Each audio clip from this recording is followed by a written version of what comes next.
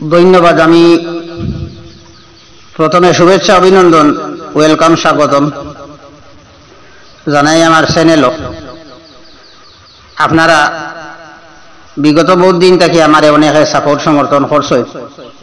আমি আপনার কাছে প্রথমে কৃতজ্ঞ প্রকাশ করিয়া আজ আমি আপনার সামনে একটা আনুক্কা বিনুক্কা পোষ লইয়া আইলাম আর এই পোষটা আমি অনেক আগে লইয়া আইবার কথা আসলো, কিন্তু দেরি হয়ে গেছে। আমি একটা মেসেজ আমি আপনার সামনে দেই আর। জানি না আপনার খা কাছে কীরকম লাগবো আরে। আমি সব জাত বাসায়ও মাথি আর। কথাটা হইল, আমরা ভারতের নাগরিক সারা এবং আমরা অসমর নাগরিক। আমরা দেশের আইন কানুন ইগু মানিয়া চলতাম ইগু আমরা রইল ফর্জে আইন। রাষ্ট্রনায়কর কথা আমরা মানিয়া চলতাম, দেশের আইন কানুন।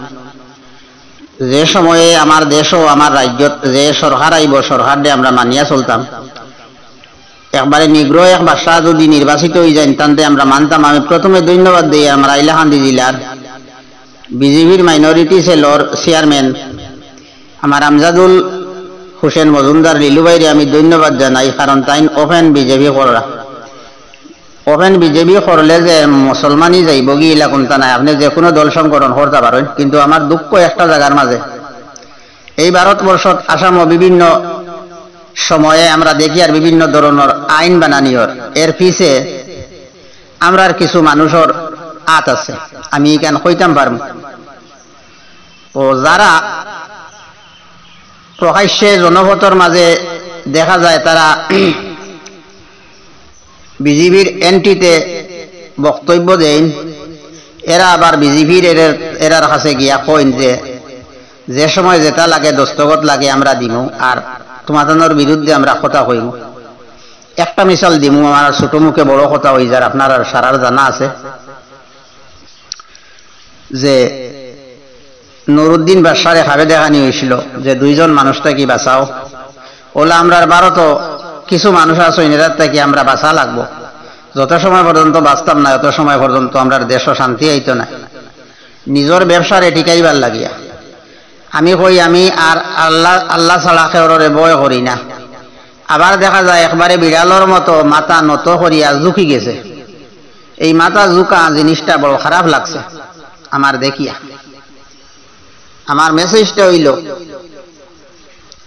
যে আমি বিজেপির কাছে আইয়া কইয়ার যে আমি তোমার যে সময় যেটা দস্তগত লাগে আমি দিব আমার ব্যবসাটারে তুমি ঠিক রাখিও। নিজের ব্যবসাটারে টিকাইবার লাগিয়া সব কিছু জলাঞ্জলি দিয়া। এখন কোন রাজনীতিটা হয়ে গেছে, একবারে ব্যবসা নীতিতে পরিণত হয়ে গেছে। আপনারা সমুজদারকে লিয়ে সেরাই কাফি, আমি কিতা কইতে চাই আর আপনারা বালা বুঝছই। নিজের ব্যবসারে টিকাইবার লাগিয়া।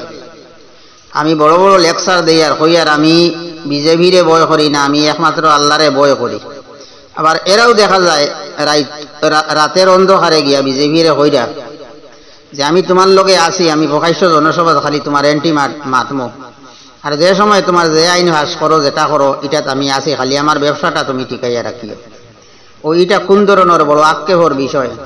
তুমি প্রকাশ্যে আমার আমজাদুল বাইর হলে তুমি যদি বিজেপি করো আমি তোমার ওয়েলকাম স্বাগতম জানাই আর কোনো বাধা নাই দেশ যে সরকার আইব তুমি সরকারের ফককে তাকতায় নিগ্রহ বাসা হইলেও তুমি তারে মানিয়া নিতাই আমার আমজাদুল বাইরে আমি আবারও ধন্যবাদ দিই আর তাই প্রকাশ্যে বিজেপি কররা তানে আমি আমার ওই ক্ষুদ্র চ্যানেলের পক্ষ থাকি ওয়েলকাম এবং স্বাগতম জানাই আর কারণ নিগ্রহ এক বাসা হইলেও তুমি এই বাসারে মানতায় দেশের আইন কানুন মানিয়া চলতায় যে সময় যে সরকার আয় এই সরকারের তুমি বিরোধিতা করতায় না, তুমি তার লগেও থাকতায় কিন্তু তুমি বাইরে দেখাও এরকম যে আমি আর আল্লাহ ছাড়া খেররে বয় করি না।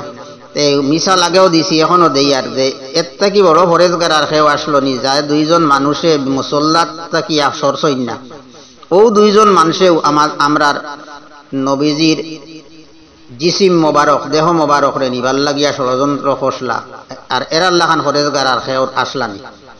এরারে দেখা গেছে তারা মুসল্লাত। ও আপনারা বুঝলে বুঝুক আমি কিতা কইতে চাই আর। যে মুখ দিয়ে আমি দেখাই যে আমি আল্লাহ ছাড়া আর খেয়রে বয় করি না। আর নিজের ব্যবসারে টিকাইবার লাগিয়া। সব কিছুরে জলাঞ্জলি দিয়া একেবারে বিড়ালর হলে মাতারে জুকাই দিলাই। ও কোন ধরনের মন মানসিকতা। আমরা এটার থেকে বাঁচা লাগবো, যত সময় পর্যন্ত বাঁচতাম নাই, আমরার দেশও শান্তি আসতো নাই। এই বলিয়া আপনারা কমেন্ট বক্স আপনারা জানাইবা মতামতটা। ধন্যবাদ।